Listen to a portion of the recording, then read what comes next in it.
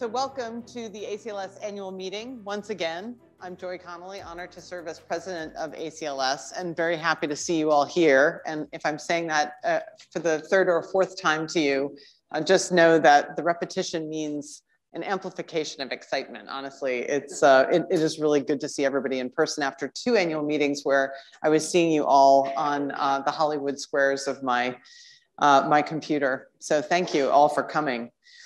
Now, today, I know that you have a report of last year's activities in your, uh, in your meeting notebook. So I'm not going to review uh, the activities section by section, since I'll assume you would have read that. And instead, I wanted to take this opportunity to talk with you um, about our views at ACLS on change and evolution in academia, but particularly in the humanities and interpretive social sciences, and share some of our thinking about why why we think change is so urgent and the kinds of directions we're going in. I know that some of this work is well known to some of you and some of it is known slightly to, to many of you.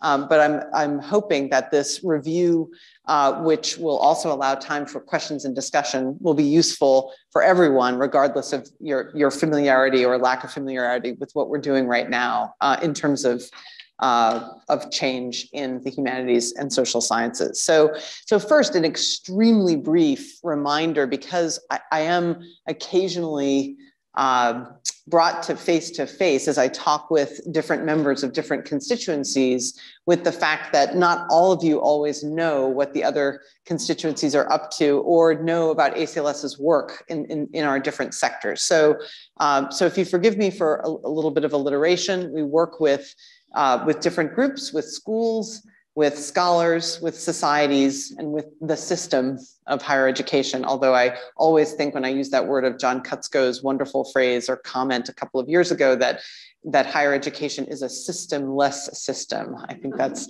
I'm quoting John correctly. He can correct me if I got that wrong.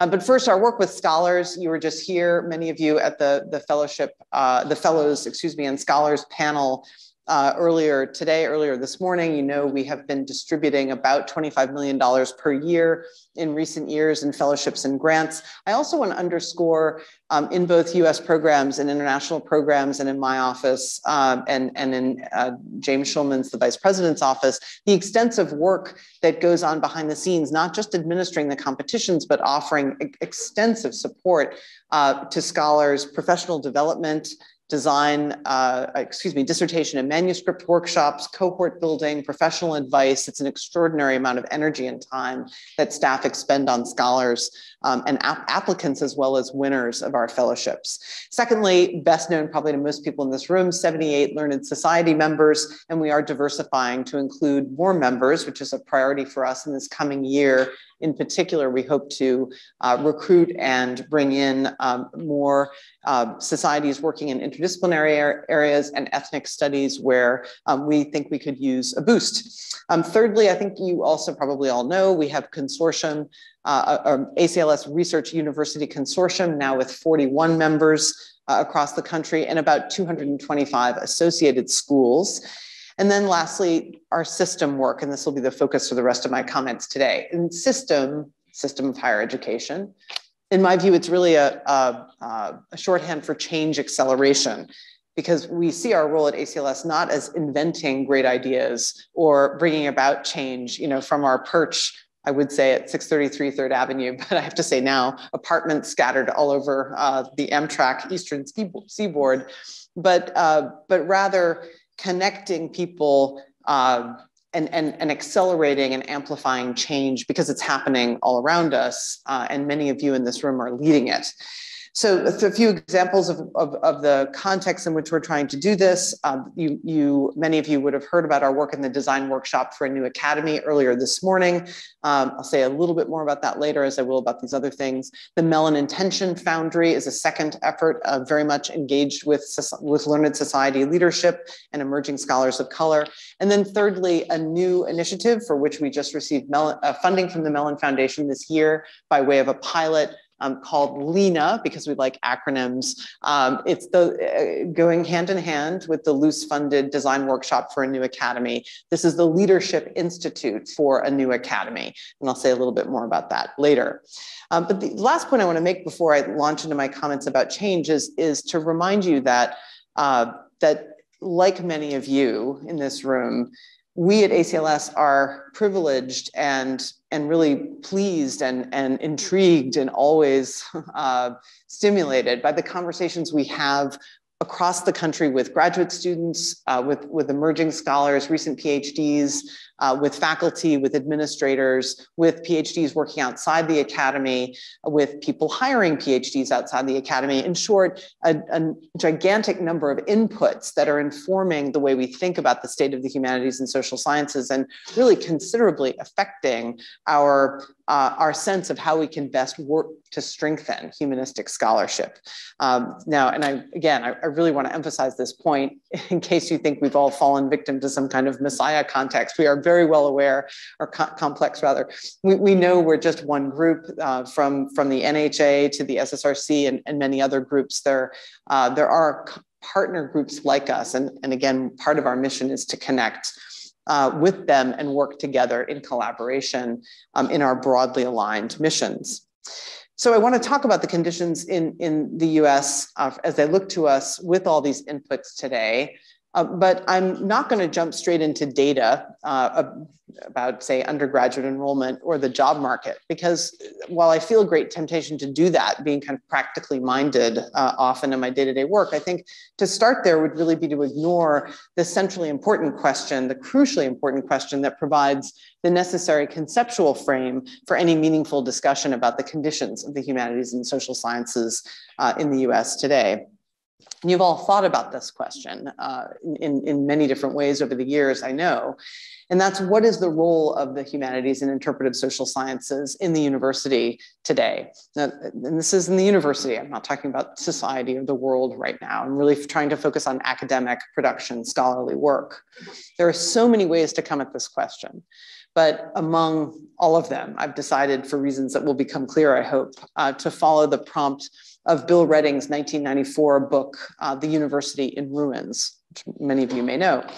Uh, Readings argued that in the early 19th and 20th centuries, uh, the university, and he refers to it with a capital U, he really means the North American Research University, had a clear mission. It was to uphold the cultural fabric of the modern nation. And he did include, and I, I want to say this um, by, by way of acknowledging people in the room who are not in um, American research universities. He did include um, liberal arts colleges, um, the you know many different kinds of institutions in, in especially state systems that don't define themselves as a research university. One of the threads running through his book is, and it's something we think about all the time at ACLS, is how the values of the research university and its reward system and its internal metrics um, sometimes quite perniciously and sometimes inspiringly permeate the system in ways, the whole system, uh, our systemless system, in ways that make that uh, make it a good place to start um, because it is a shared reference point, even if it's not the shared experience of everyone in the academy. So I want to make that very explicit as I talk about the university. Um, it doesn't mean I don't have in mind and that we don't have in mind at ACLS um, the, the, uh, the many kinds of institutional expressions of scholarship that live outside the research university. This is just, again, we have to find one way into these complicated questions, and I want to be transparent about mine. So if the if the uh, mission of the research of the excuse me the university, including uh, to to different degrees all these other institutions, was to uphold the fabric of the modern nation, and that means Readings was saying that the university was the producer and the protector and inculcation inculcator of national culture, and in in the 19th century and early 20th century, really in the Arnoldian sense of the world, you know culture as the best that has been thought and said. Um, but by the late 20th century, of course, radical changes, globalization in particular, on the level of the nation and the corporation and the academy. So universities and colleges started to recruit students and faculty from all over the world. And this is just one of the factors, this globalizing um, shift that occurred after World War II that made the, that historical national mission of the university no longer tenable. And Readings says, makes this very clear that the place of the humanities and interpretive social sciences became especially precarious because our nation-based departments of literature and culture uh, and, and our self-definitions disciplinarily uh, made us central to that old mission. But what were we supposed to do in the new system? And this is what Readings quite scathingly calls the world of producing excellence. Um, and it's not, not clear, he said, what the mission is in this new world. Now, Readings, and I wonder if some people in this room might, might have known him or known of him, I mean, he was tragically killed in a, a, plane crash before he could finish his book. I don't think he was even 35. But um, the final chapters of the book call on readers to confront the consequences of globalization. And Readings was under no illusion, and neither am I, and neither is anyone involved with ACLS, that this would be easy. Readings wrote, an order of knowledge and an institutional structure are breaking down, and in their place comes the discourse of excellence that tells teachers and students simply not to worry about things, how things fit together, since that's not their problem. All they have to do is get on with doing what they've always done. And the general question of integration will be resolved by the administration with the help of grids that chart the achievement of goals and achieving excellence, whatever that might be. So to take responsibility, responsibility for devising a new mission instead of leaving it to co corporate or quasi-corporate powers, he said, meant constructing a new shifting disciplinary structure that moves beyond custom and nostalgia. And I quote one more time, to think the social bond without recourse to a unifying idea, whether of culture or the state. Readings' fear that administrative powers and priorities would shape the university has sadly come true at many schools, where changes in departmental structure and curriculum have been driven by budget rather than academic mission or intellectual reasoning. And I share his worry about the loss of a guiding mission for the humanities and social sciences that's meaningful to increasingly diverse faculty and students and administrators and the public. And I share his belief that faculty and students must take on this responsibility, even if they're not feeling the direct pinch of reduction and cuts. But I do agree with him, uh, but I do, excuse me, Freudian slip, I disagree with him. Let me underline that again.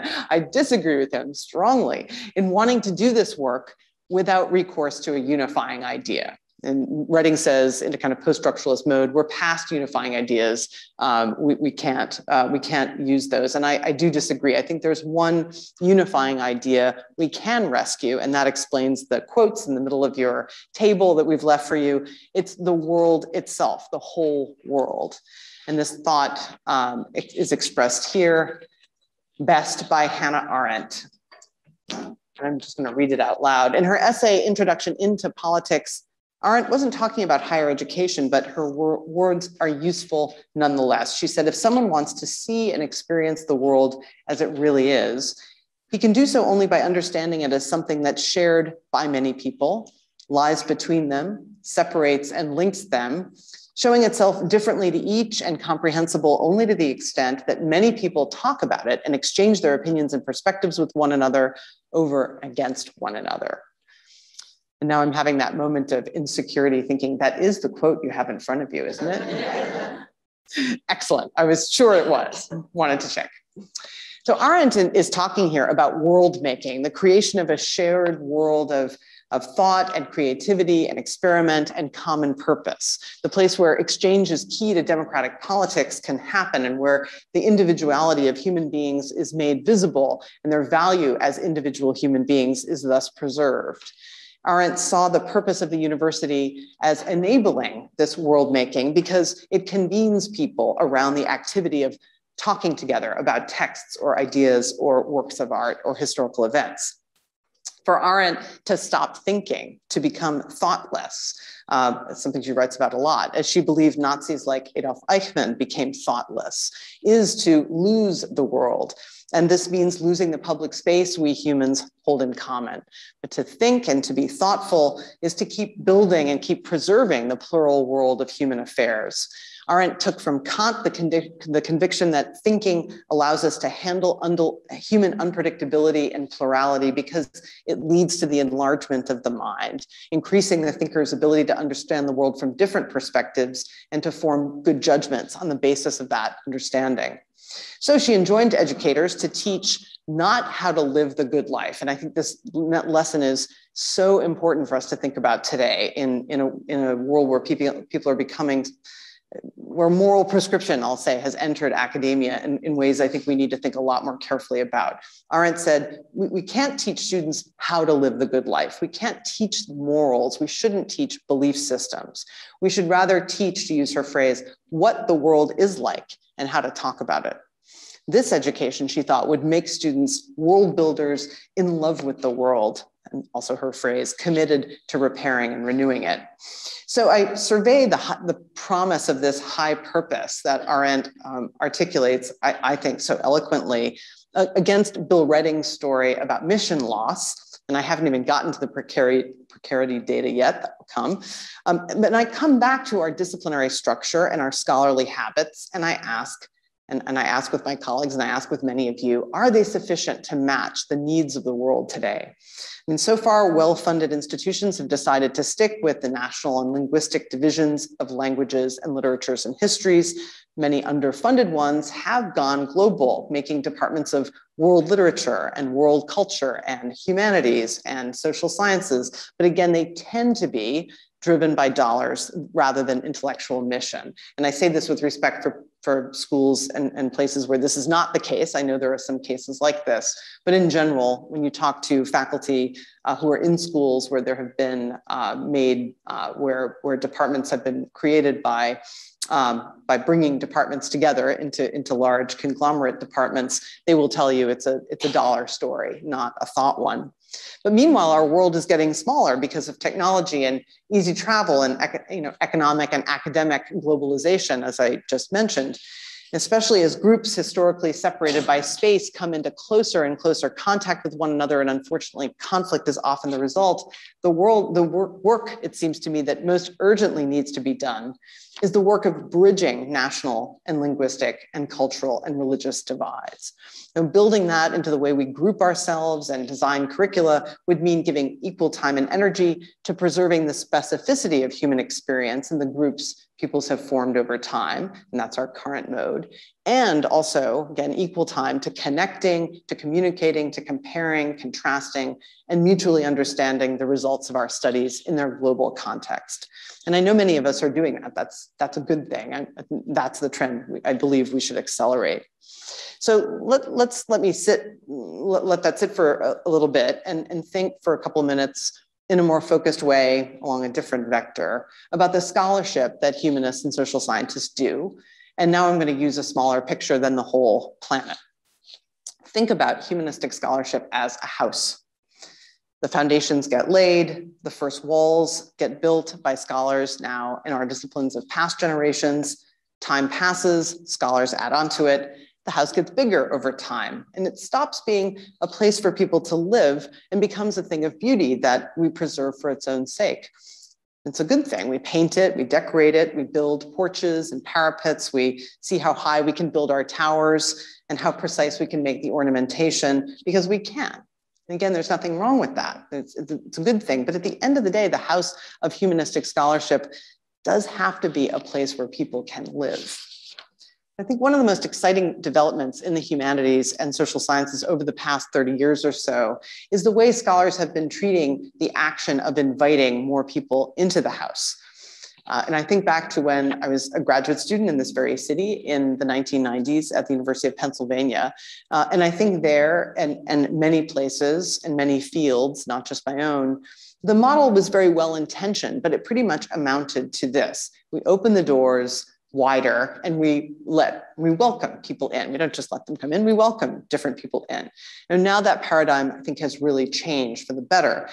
We've begun to understand i think when you open the doors wide enough when you throw open the windows and the, and the chimneys you find you really need to redesign the whole house from the ground up. So from a house you know, where we, we, we're pushing open the doors we're moving to something different, I think, um, different models for different disciplines, maybe a stoa or a hutong, or even a cleared field marked maybe by movable boundary stones. Although I have to say, when I was talking to a bunch of graduate students about this image, they said, no, no, not the field, because we need some protection, we need a roof.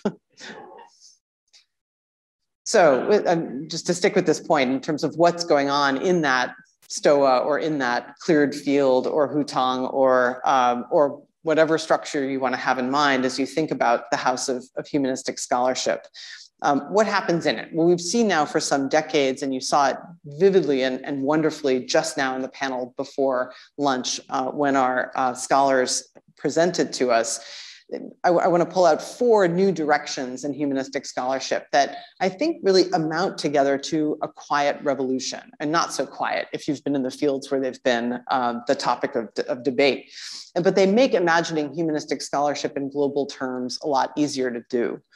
First, scholars are exploring new, just new ways to circulate knowledge, including multimedia publications, graphic novels, team written essays, work that includes incorporates creative writing or memoir, the building of archives, the building of maps. So some of it is, you can see the range here, foundational, what we used to call basic research, maybe sometimes we still do.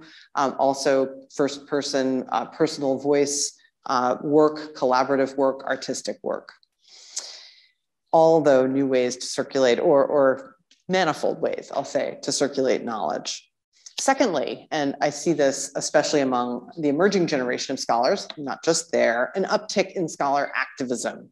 For example, research on voter turnout that includes actually getting out the vote, or research on environmental problems that incorporates community-driven proposals. Uh, this work, as we again, as we saw in the in the panel just before lunch, is often undertaken by teams of people, including students and faculty working in collaboration. And third, community engaged research, where scholars work directly with many different people, speakers of indig indigenous languages, communities eager to understand their own pasts and who have a lot to contribute, um, everything to contribute to the working of that, uh, of those projects. People trying to imagine a better world in their communities, which includes understanding their past more thoroughly, um, and also communities across disciplines and across professional schools uh, and, and schools of arts and science. And finally, and I know some of these categories uh, overlap, comparative and transnational and transregional scholarship, which frames questions at the margins or on the borders of states. And such projects compare, say, the I in a lyric poem written in Uzbekistan with one in Sao Paulo, or concepts of criminal justice in ancient Assyria and China, or economic developments in agrarian cultures across the global south. Now, one thing about these four directions I've laid out is that uh, it's very difficult to conceive of them uh, being produced in their best possible form in isolation. They all involve acts of co-creation, of working in collaboration with others. Now, anyone who's done this work will tell you about its enormously generative effects, but they will also tell you they're often unpredictable, they're difficult to contain within the seminar, you know, all our academic units, the seminar timetable or the traditional disciplinary graduate seminar or the semester calendar or the funding of the department if it involves paying people who are from, from a community who are contributing and guiding, in fact, say the, uh, the production of public history. But all four of these directions too, and their, their emphasis on collaboration, on relationality, on context, on memory. They all have the potential, and they often do also respond constructively to the critique of the European thought world made by scholars like the eminent theorist and critic Sylvia Wynter, who points out, and I quote, that our present arrangements of knowledge were put in place in the 19th century to serve the interests of imperialist Europe. Now, scholars have been doing this work for decades, but for many reasons, much of it work that's collaborative, work that's written in the vernacular or expresses itself in activity beyond peer-reviewed publications. It tends to run into problems when it encounters the rules and habits of the university as it's currently institutionalized. And this, really, given the real challenges right ahead of us, is a serious problem that deserves our close uh, collective attention all these diverse inputs from all over the country, as I mentioned at the beginning, they all tell us that the four directions I just mentioned are not rewarded consistently as they deserve, that the path is just a lot smoother for tr traditional monographs and articles on more and more highly specialized topics. Many scholars too, particularly scholars of color and women and scholars who were first in their families to go to college, scholars from poor families, immigrant scholars, they will put this point a lot more bluntly than I just did. They will say, and I'm channeling conversations again that I've had over the last few years, that they feel pressured not only to produce ever more specialized knowledge, but to do so in isolation and in an artificial language that limits their audience and limits their impact. And worse, it demands that they assimilate themselves into structures designed to perpetuate worldviews in which they're marginal excluded or devalued. And I just mentioned Sylvia Wynter. I could cite the insights of Gayatri Spivak or Kandice Chuh, my old colleague at the Graduate Center, or Roderick Ferguson or Grace Hong. Um, that's just a few of the um, marquee scholars, um, you know, well known, who have been drawing this to our attention. So this is why, one of the central reasons why we at ACLS and in our societies are working on how to accelerate acceptance of plurality in scholarship and in, uh, and in academic achievement and work more broadly.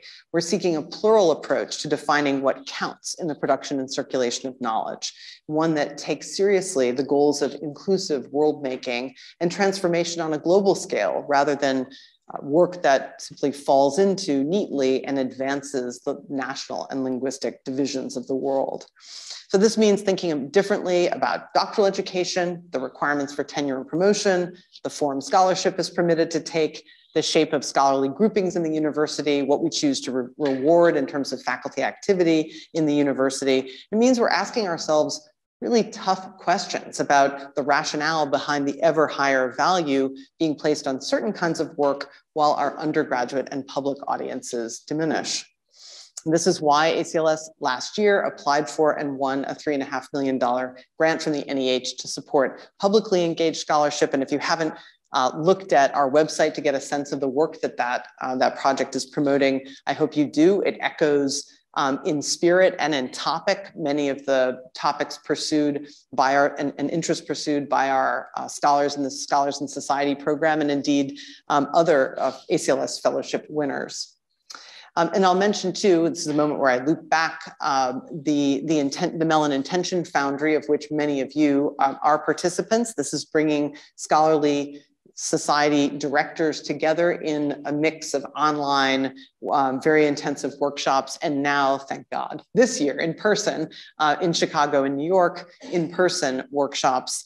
Um, this is, for those of you who have participated and who are waiting for, um, surely not with bated breath, given everything else you have to do, but you're, you are waiting, I know, for us to come back um, and engage you in the report back process for those of you who are in the Intention Foundry this year, for those of you who will be in it next year, this will be, and I have very much in mind my conversation with um, with uh, Director Phil Harper of the Mellon Foundation last night. This will be a wonderful way to help the Mellon Foundation learn about our work together to advance diversity and equity in the Academy, um, and not just Mellon, many other partners as well.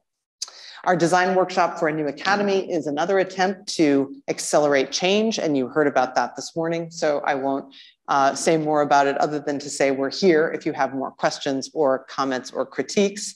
And thirdly, and lastly, I want to mention uh, for a little bit, uh, with a little more detail, our new initiative, LINA, the Leadership Institute for a New Academy. We'll roll this out uh, next summer another summer institute, so we'll be kept busy with this activity 12 months a year. Um, this first pilot year will bring in um, sitting deans for humanities or arts and sciences or recent deans.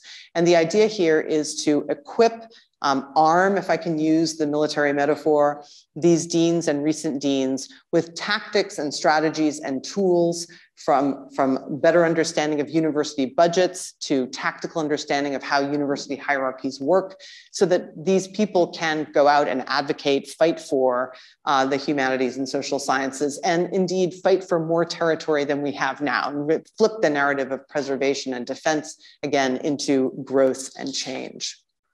So now I'll be blunt in, as I come to a close, because I do, as I said, want to have time for questions, and simply say uh, kind of three things about some of the obstacles we see ahead. I mean, one obstacle to change in our discipline is, and I know you'll be generous with me and let me think through my thought, it's it's ourselves right because the arts and science professoriate and the people who support that support that professoriate in this country is overwhelmingly white overwhelmingly coming from better off and well-educated families. And overwhelmingly, and you may know this, this study from the University of Colorado, um, it, from families where parents have PhDs. So it's a very an internally looking group. Um, the second, uh, second challenge we see uh, in front of us, in, and again, you know this well, is the decline in, in majors and enrollments, and partly a problem because it affects so many different schools and fields in so many different ways. So it's very difficult to get our arms around the problem and think collectively about it. But it leads to the third problem, which is the decline, of course, in faculty hiring that's made the job market you know, such a horror for um, so many of our graduate students, our doctoral students finishing today. But the answer, in my view, is not to decrease the numbers of graduate students getting degrees, but to increase the number of students on the undergraduate side who need our teaching and who need our knowledge and who will benefit from it and help us spread it outside the walls of the academy because undergraduates should be flocking to our fields. Is our view. The good news is, though, many faculty, many of you are trying to think different. If you don't mind me quoting the Apple ad, we are trying to reach more students, and we do have the purpose of revitalizing the creation of knowledge by reframing its scope um, in many ways. So, with that uh, in mind, I will simply end by saying this that, as I said at the beginning of the design workshop, we are trying to keep our eyes on the great purpose and promise of humanistic scholarship in the world. And this lends to grandiose language and claims and exhortations and, and aspirational words. And those are good and we need them and we need to share our best words with each other in order to do this work together. But I know very well from my administrative experience uh, at NYU and the, and the CUNY Graduate Center that ideas, great ideas and eloquent language and extremely acute analyses of the problems are just not enough. We really need to think together about real world embodied processes and ways we can work together step by step in this multi-year, probably multi-generational project to change the world for the better, to make the academy a place where true new world making can happen. But talk should be a plural enterprise. I've tried to restrain myself, but I will now open it up to at least, uh, I think we have about 10 minutes for questions. So thank you very much. I'm just curious if you could talk a little bit more about ACLS's external relationships with other organizations in the higher education space, um, particularly on the STEM um, community, but but you know ACE and I mean because obviously we're not going to uh, change all of these huge questions you've put before us as this community, you know, here gathered today. And I, I'm just curious, like what what the reception has been, what what's going on that's sort of parallel, complementary, uh, or maybe even antagonistic in some ways. Um, how you see this fitting in within the larger context. Yeah, it's a great question. And, and it's why I tried to emphasize our awareness that so much is going on and, and our desire to connect up with it. So just two things, um, kind of two examples of our thinking on this and our action on this. In the design workshop, we started out with the plan um, that after these six, the initial work with the six teams that we did last spring and summer was over, that the next step, and we've been carrying this through bit by bit um, over the last year, would be to you know, first gather, and this took about six months, just knowledge of what else is going on, um, whether it's uh, groups like ACE or AAC&U um, or the AAU or the Council of Graduate Schools, and sorry for all the acronyms, but, um, but to, to find out what efforts were most aligned with ours, share them with the teams themselves, which we've now done, and then make some decisions about what kinds of groupings or networks we would seek to connect. Um, some of you might remember we had an event late this winter, um, an online event that featured many of the same people you saw today, where they gave kind of initial presentations of their, of their uh, results. One of the things we did after that was we sent out a, um, a very short, at least we hope, a short questionnaire asking people who attended the event or who'd signed up for it actually to identify themselves and say, I want to be involved at, at, different levels. I want to get emails about this. I want to be invited to events, or I want to actively participate. And we got an extraordinary number of responses back for people checking the most engaged box and saying, please get me involved. Um, so we're now in the process of, of forming those groups along the different clusters of transforming doctoral education, um, changing what counts for tenure and promotion in terms of scholarship, expanding our appreciation of what faculty do, et, et cetera. Um, so that's the kind of linking, um, amplifying activity we're doing along with presentations. I've spoken to the graduate deans of the AAU and, you know, kind of doing presentations like this, um, just sharing the knowledge that we're up to this uh, activity and asking, you know, how can we best connect?